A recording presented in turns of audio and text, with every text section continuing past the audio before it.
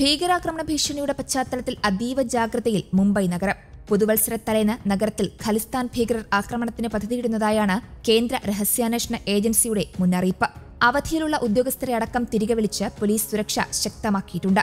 വിവിധ റെയിൽവേ സ്റ്റേഷനുകളിൽ സുരക്ഷയ്ക്ക് വേണ്ടി മൂവായിരത്തോളം പോലീസുകാരെ വിന്യസിച്ചതായി റെയിൽവേ പോലീസ് അറിയിച്ചു.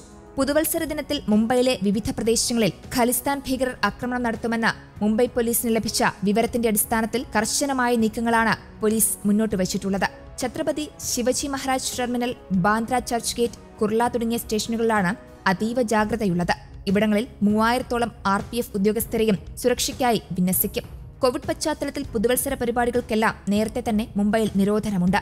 പുതിയ സാഹചര്യത്തിൽ രാത്രി കർഫ്യൂ കൂടുതൽ കർശനമായി നടപ്പാക്കും. നേരത്തെ ലുധിയാന കോടതിയിലുണ്ടായ ബോംബ് സ്ഫോടനത്തിൽ ഖലിസ്ഥാൻ ഭീകരർക്ക് പങ്കുണ്ടെന്ന് വ്യക്തമായിരുന്നു.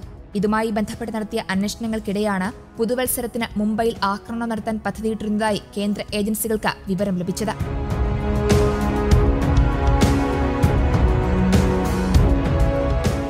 അതിനിടെ കശ്മീരിലെ അനന്ത്നാഗിലും കുൽഗാമിലുമായി നടന്ന വ്യത്യസ്ത ഏറ്റുമുട്ടലുകളിൽ ആറ് ജെയ്ഷെ മുഹമ്മദ് ഭീകരരെ സുരക്ഷാസേന വധിച്ചു. ഒരു ജവാൻ വീരമൃത്യു വരിച്ചു. രണ്ട് സൈനികർക്ക് ഗുരുതരമായി പരിക്കേറ്റു.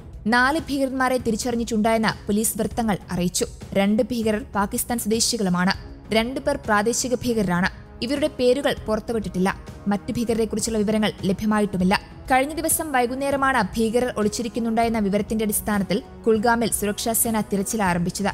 ഭീകരർ വെടിയുതിർത്തതോടെ സൈന്യം തിരിച്ചടിക്കുകയായിരുന്നു. ഇവിടെ മൂന്ന് ഭീകരരെ സൈന്യം വധിച്ചു. ഒരു പോലീസ് ഉദ്യോഗസ്ഥന് പരിക്കേറ്റു. പിന്നീട് കുൽഗാമിൽ നടന്ന ഏറ്റുമുട്ടലിൽ മറ്റ് മൂന്ന് ഭീകരരെയും വധിച്ചു. ഇവിടെ ഒരു ഭീകരൻ കൂടി ഒളിച്ചിരിപ്പുണ്ടായെന്നാണ് വിവരം. കൂടുതൽ വിവരങ്ങൾ പുറത്തു വന്നിട്ടുമില്ല. News desk Kerala Kaumudi.